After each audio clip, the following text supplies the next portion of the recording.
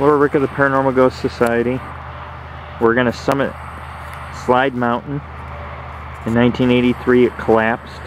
In 50,000 years it's probably collapsed at least 23 different times. But in 1983 when it collapsed it killed one person. It slid all into the road. It had a 15 foot wall of water.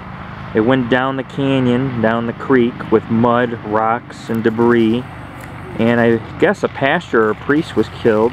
He used to work with teenagers, so it's probably around anywhere from 9,800 to 10,300 feet. I forgot to look it up, but I think it's 10,000, around 10,000, somewhere in there. And we're going to take it from the Mount Rose end, which is further north on the backside. Or we could take it from Tahoe and go up it. We'll decide what we're going to do once we get on the Mount Rose Highway. Because I may just want to take the Tahoe way so I get scenic views all the way up. Anyways, check us out. www.paranormalghostsociety.org We'll be back with more footage soon of Slide Mountain.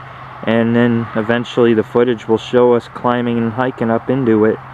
A lot of woods, a lot of places for things to hide. Maybe we'll find some tracks who knows? Anything's possible. Peace.